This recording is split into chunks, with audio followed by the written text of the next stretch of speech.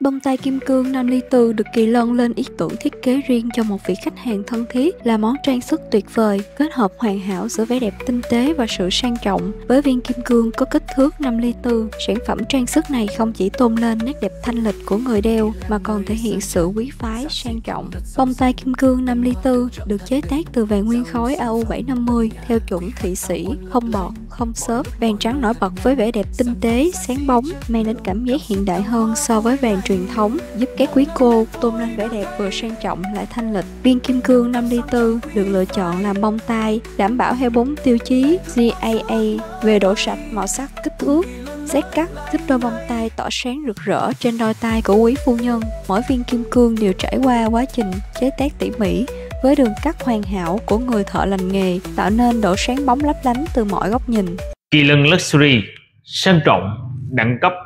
thượng lưu